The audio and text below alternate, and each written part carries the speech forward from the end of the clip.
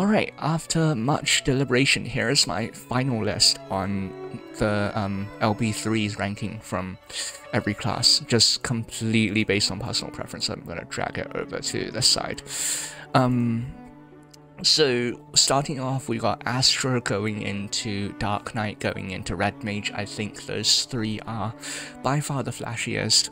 Um, I had to put Black Mage somewhere at the top because I'm a filthy Black Mage main. Um, so a little bit of bias could have been a could have been present there.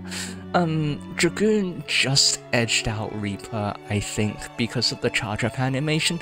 They both were um, really nice. Dragoon kind of reminded me more of like Morn, which some which I, I felt Summoner would have, but then Summoner just went into a Bahamut explosion and I, I don't know. It was kind of anticlimactic.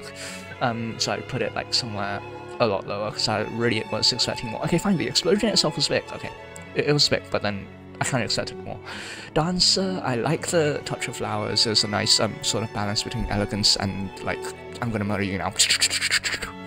um, and then we have the two, what I like to call the meme classes. So Monk, I looked back at the animation a couple of times and really is just um you can't get more One Punch Man than um that Monk. But um Sage though, like I, I put hairs like John Cena. It looks good, but like the yeah, but you can't see me. You, you can't see it properly unless you're like far away and dead. But then you're not the one using the LB3. So from a third person perspective, maybe that would have been nice.